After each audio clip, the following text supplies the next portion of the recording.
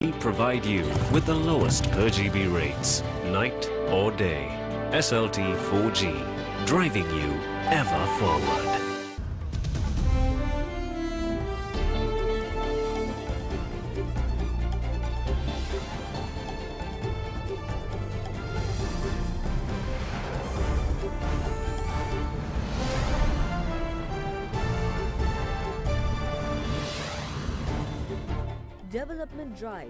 The newly constructed Matara Beliatta railway track tested for the first time. However, not all are pleased. No instability. Minister Mano Ganesan asserts that Sri Lanka's political situation is stable. The Northern Airport Development Project will go ahead. Democracy must prevail. Opposition leader Mahinda Rajapaksa says that constitutions cannot be passed by force. Accountability is a must. Murali says cricket administration and its players should take equal responsibility for shortcomings. All that and much more coming up on First at 9 on this Sunday 6 January 2019. මේ උත්සව සමයේ smart Android තාක්ෂණයෙන් එන සිංහ විස්ටා ටීවිය එකක් මිලදී ගන්නා ඔබට හිත්ත පිරෙන්න වාසි රැසක් ඕනෑම සිංහ ප්‍රදර්ශනාගාරයකින්. From Ada Derana, this is Ada Derana First at 9. Live from Studio 24 in Colombo.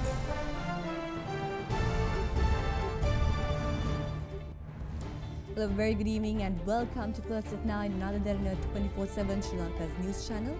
And well, it's a historic day as the first railway constructed after British colonial era in Sri Lanka saw its maiden test run today. The test run of the Matara and Beliatta stretch, which is part of the first phase of the Southern Railway Expansion Project, was held under patronage of Minister of Transport and Civil Aviation Arjuna Ranatunga. Now, once completed, the project will allow commuters to travel between Matara to Kataragama much faster and in a convenient manner. The 26.75 kilometer Matara Beliatta extension boasts of having the longest and second longest railway bridges, one of the tallest railway bridges, the longest railway tunnel as well as the most modern railway station buildings in the country. Matara had been the southern destination for railway commuters since Sri Lanka's railway network was established by the British during the colonial era. However, expanding the railway network had been a necessity for a few decades, and as a result, the decision to expand the southern railway track by 113 kilometers from Matara to Kataragama was materialized. The first phase of the Southern Railway Expansion Project, the track between Matara to Beliatta, has now been completed. Under the second phase, the line will be extended from Beliatta to Hambantota, and the third phase will see the tracks being extended to Kataragama. The railway will have six stations, including the four main stations of Kekanadura, Bambarenda, Wewurukannala, and Beliatta, and two substations.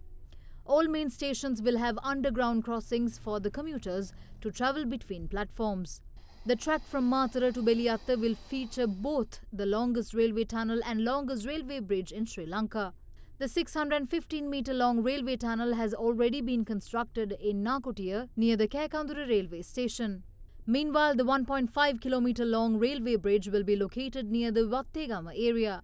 Another special feature in the railway line is that it will contain eight automated crossing gates. The railway line will also see trains with speed up to 120 km per hour travelling on its tracks, making it the track with the fastest trains in Sri Lanka. With the 21 metre Beheragoda bridge, the line also boasts the tallest railway bridge in the country. First phase of the railway extension project costing 278.2 million US dollars was financed by the Exim Bank of China. China National Machinery Import and Export Corporation acts as the main contractor of the project, while China Railway Number 5 Engineering Group Co Limited, a subsidiary of China Railway Construction Corporation, did the bulk of the construction. The maiden test run of the railway stretch between Matara Beliatta was held today under the patronage of Minister of Transport and Civil Aviation Arjuna Ranatunga. It seems that we will be able to open the railway track before the Sinhala and Tamil New Year. Construction of the railway line up to Beliatta is almost completed. Once the signal system is finalized, we will be able to use the track.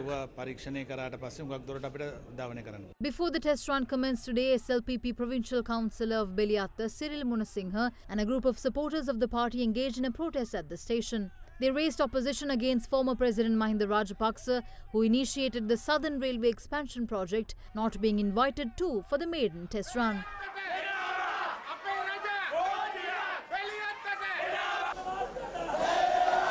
Several other protests by supporters of the Sri Lanka Podujana Peramuna were also held during the test run today.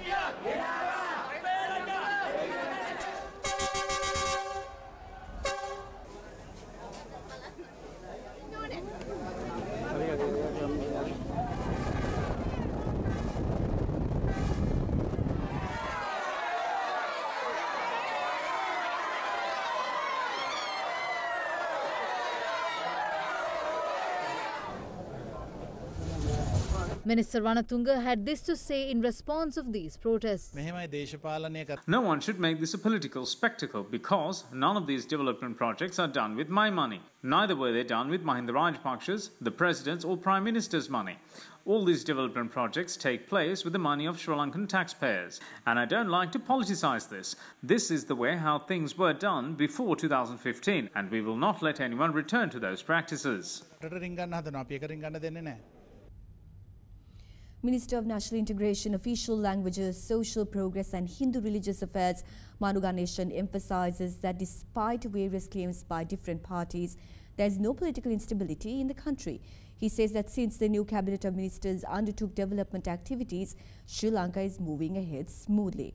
Minister Ganesan made the remark following inquiries over foreign media reports which claim that India has delayed Northern Airport Development Project in Sri Lanka owing to political instability.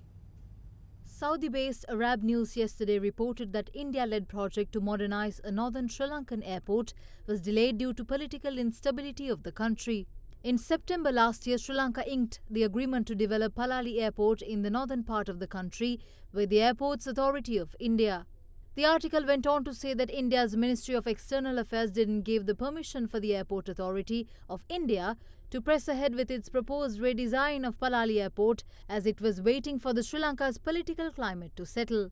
Meanwhile, India's Minister of State for Aviation Jayant Sinha had told the Parliament earlier this week that the AAI had signed an agreement to prepare a detailed project report for developing the Palali Airport in Sri Lanka, seeking the approval from the Ministry of External Affairs.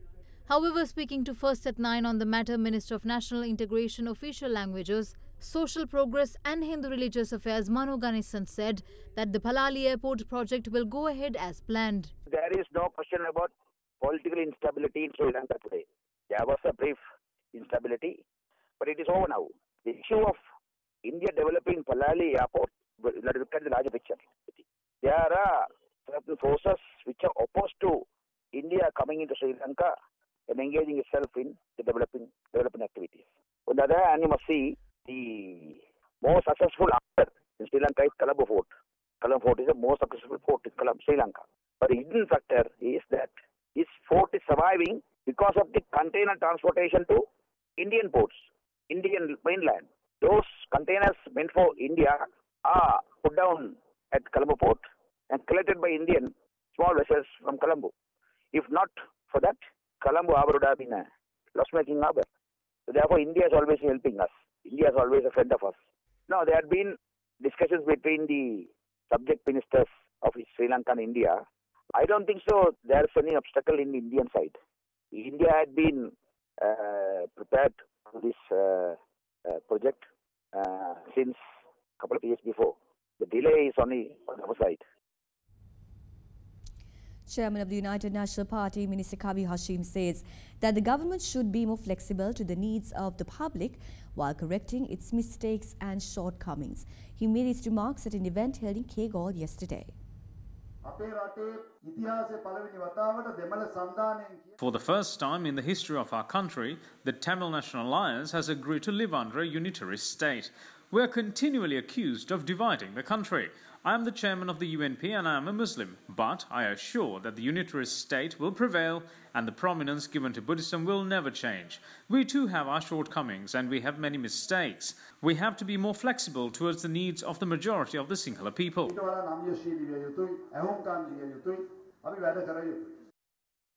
Meanwhile, opposition leader Mahinda Rajapaksa says that constitutions cannot be passed by force.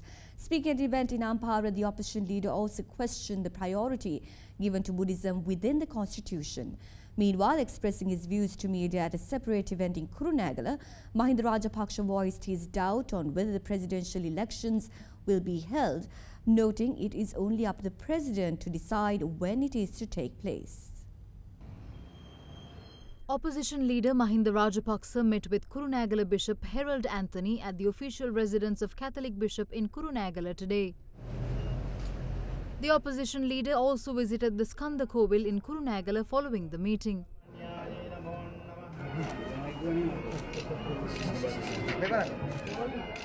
එක්සත් ජාතික පක්ෂය කියනවා ජනවාරි 8 වෙනිදායින් පස්සේ ජනාධිපතිවරණයකට යන්න ඒගොල්ලෝ plan කරලා තියෙනවා කියලා. එයාලට ප්ලෑන් කරන්න බෑනේ. We can go for a presidential election at any time after next Tuesday, but it should be decided by the president. I doubt that the president will go for an early presidential election. මගේ දන්නේ ජනාධිපතිවරයා මේ එහෙම වේලාසනින් යයි කියලා. එතකොට ඉදිරියේදී ඔබතුමා කොයි පක්ෂයද නියෝජනය කරන්නේ? විපක්ෂී බලවේගය මම නියෝජනය කරනවා. I represent the opposition. I came to the parliament representing the SLFP. Therefore, I represent the SLFP.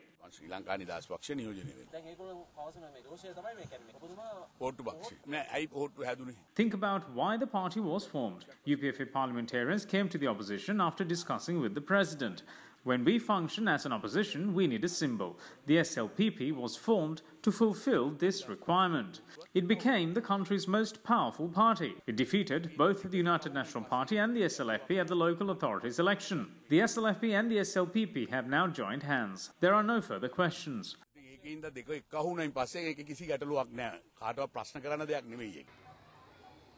Meanwhile, opposition leader Mahinda Rajapaksa participated at a religious function held in Ampara yesterday.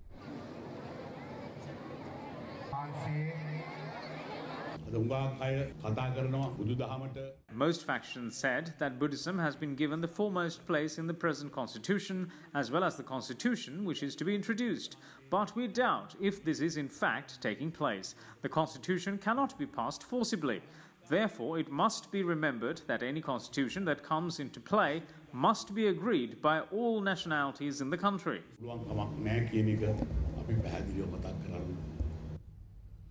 Now, we all know that 2019 is going to be an election year. However, in a backdrop where there is no final agreement as to which electoral system will be used for the upcoming provincial council elections, various views are being expressed in the political arena. It is in such a backdrop that Minister of Health uh, Dr. Rajitha Senaratne claims that a presidential election will be held before provincial councils elections.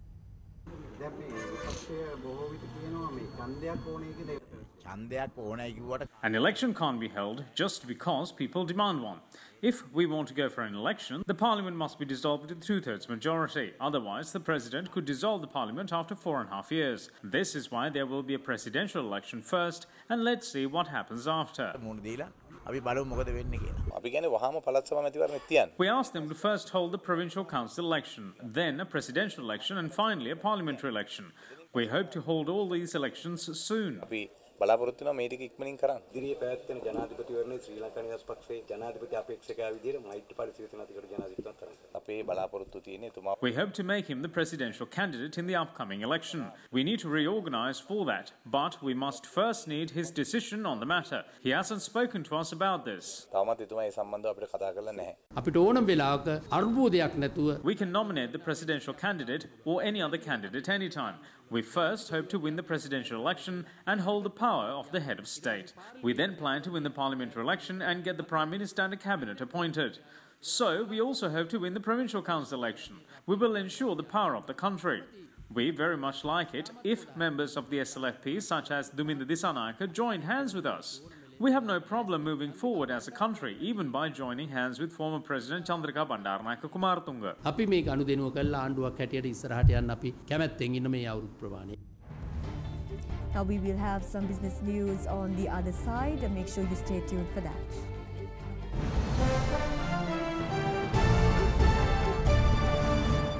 You are watching Sri Lanka's number one news channel, Other Aladharana 24 7.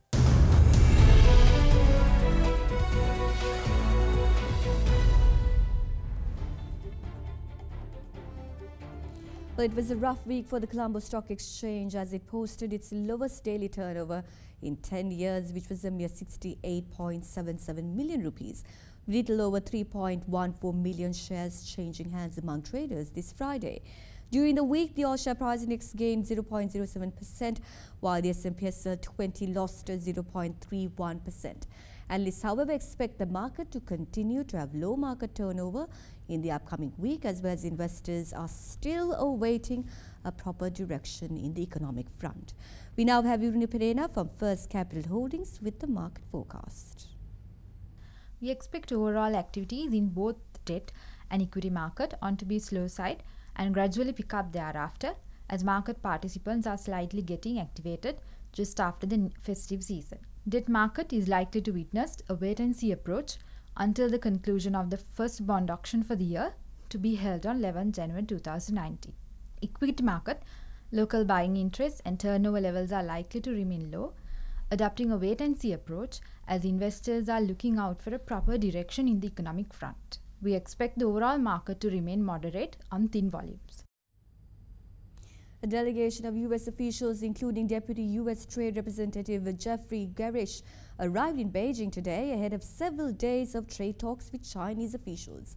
The talks, which are scheduled to begin tomorrow, will be the first U.S.-China face-to-face trade talks since U.S. President Donald Trump and his Chinese counterpart Xi Jinping met in December and agreed to a 90-day truce in the trade.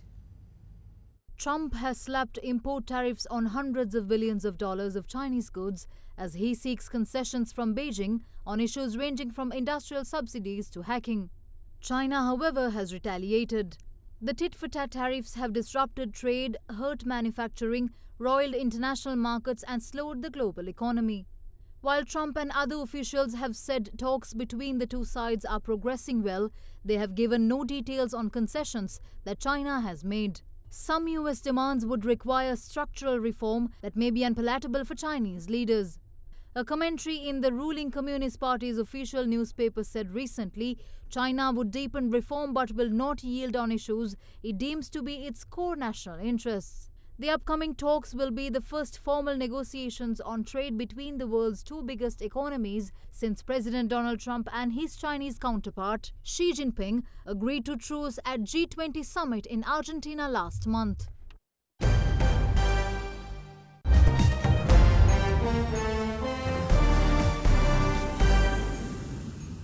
After its historic landing on Thursday, China's latest lunar rover Jade Rabbit 2 is now rolling on the far side of the moon for more scientific explorations.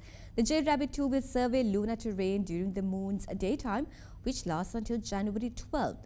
After that, a 14-day-long moon night is expected to come. The landing is being seen as a major milestone in space exploration. Jade Rabbit 2's first footprints on the dark side of the moon is the latest development of China's Chang'e 4 lunar mission, which achieved the first soft landing on the far side of the moon on Thursday. So far, the rover and the relay satellite have successfully established an independent data link and carried out scientific exploration as planned and the lunar radar, panoramic camera and other equipment are also operating normally. The probe landed in the Von Karman crater within the South Pole Aitken Basin, a location ideal for the exploration of the moon. As the moon itself blocks the Earth's radiation interference, the far side of the moon has a perfectly quiet environment for astronomical observation. In order to reduce heat generated by its own work, the rover will have a break when it's appropriate, leaving only part of the subsystem working. The mobile subsystem will stop working and the rover is expected to be waken up on the 10th of January. Just a day after US President Donald Trump threatened to keep the government partially shut for months or even years, he now uh, took a U-turn saying that discussions to end the partial government shutdown will resume. He, however, is still adamant on his decision on the border wall between the United States and Mexico. Following fresh talks yesterday, the leader of Trump's team, Vice President Mike Pence, was a little more positive talking of a productive discussion as the stalemate enters its third week. Critics, meanwhile, highlights that with both sides apparently refusing to budge, there's little sign of any breakthrough from further discussions. Senior Trump administration officials met with Democratic congressional staffers yesterday but failed to break a deadlock over a proposed border wall and end a two week old partial government shutdown. Vice President Mike Pence, however, said the meeting was productive and that both sides agreed meet for further talks. US President Donald Trump meanwhile tweeted that there was not much headway made in talks with Democratic Party representatives yesterday. US President is demanding $5.6 billion to build a wall along the US border with Mexico, but Democrats in control of the House of Representatives this week passed a bill to reopen the government without providing additional funding for the wall. Trump says he will not sign the bill until he gets the money for the wall. With the two sides sticking to their positions, a quarter of the federal government has been closed for two weeks, leaving 800,000 public workers unpaid. A new rule in Saudi Arabia is going to ensure that Saudi women know about their own divorces. Starting from today, courts will be required to notify women by text on rulings confirming their divorces. Local female lawyers suggest the measure will end what are known as secret divorce cases where men end a marriage without telling their wives. The directive would ensure women are fully aware of their marital status and can protect rights such as alimony. Last year, a decade-old driving ban on women was lifted in Saudi Arabia. However, women will still remain subject to male guardianship laws. The new step is said to be part of economic and social reforms pushed by Crown Prince Mohammed bin Salman, such as allowing women to attend football matches and work in jobs traditionally reserved for men.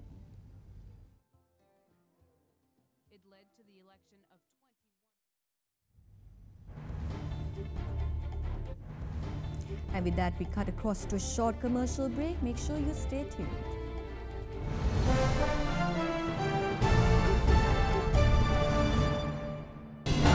Are watching Sri Lanka's award winning news channel, Ada Derana 24 7.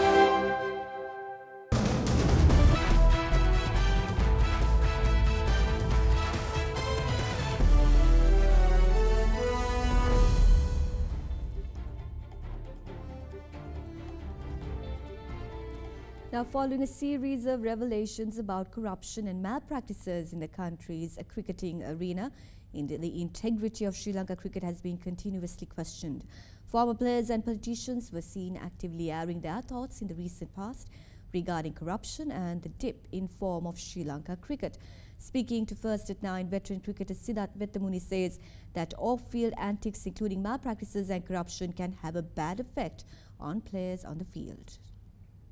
If there is instability and uh, corruption, there will always be doubts in the minds of players. And if there is a situation where players are underperforming, it would certainly be an issue. However, the, the good news is that the ICC is setting up an anti-corruption unit here, and hopefully that will keep things clean.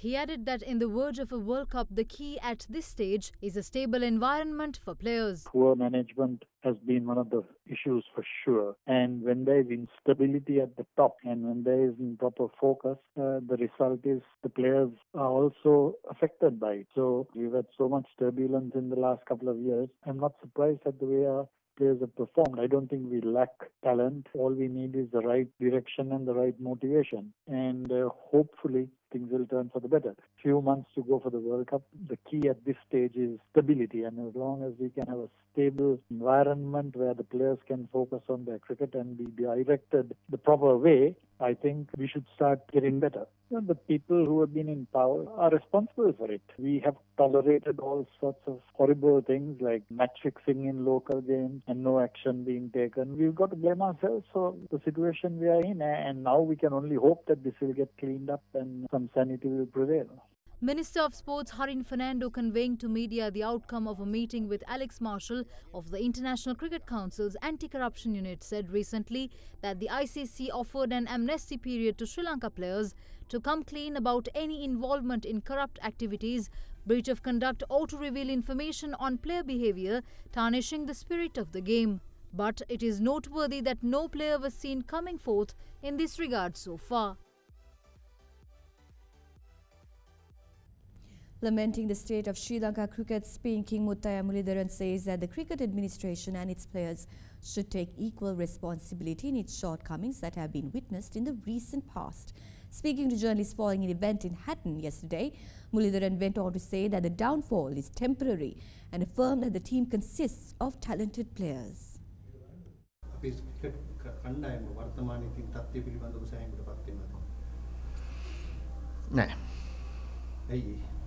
මම හිතනවා අපි ඊටපු තත්ත්වය අවුරුදු 20ක් විතර මේ ලෝකෙම ඉතාමත් දැවන්තම කණ්ඩායමක් හැටියට අවුරුදු 20ක් අපි හිටියා. අපිට ක්වොලිෆිකේෂන් එකක්වත් ගහන්න වෙනවා වර්ල්ඩ් කප් එකක් ක්වොලිෆයි කරන්න. ඒ තත්ත්වයට වැටිලා තියෙන්නේ. ඒ කියන්නේ පසුබිමක් තියෙන්නේ. ඒ తాවකාලික පසුබිමක්. මම කියන්නේ දක්ෂ ක්‍රීඩකයෝ නැත්තේ කියලා. මේකට අපි සුදුසු කට්ටිය දාලා තියෙනවානේ. ඒගොල්ලන් තමයි පිළිතුරු හොයන්න ඕනේ. ඇයි මේ මූනේ? මේ වලට විසඳුමුත් හොයන්න ඕනේ ඒගොල්ලන්. අපිට එළියේ ඉඳන් විසඳුම් දෙන්න හරි අමාරුයි. ඇතුළට ගිහලා බලන්න ඕනේ මොනවද වෙලා තියෙන්නේ කියලා. මේක ඇවිල්ලා ඇඩ්මිනිස්ට්‍රේෂන් විතරක් දොස් කියන්න බෑ. ප්ලේයර්ස්ලාගේ මදිකමත් පේනවා මේ අටේදී. And with that, we conclude this edition of First at 9. Thank you for joining us and have a pleasant evening.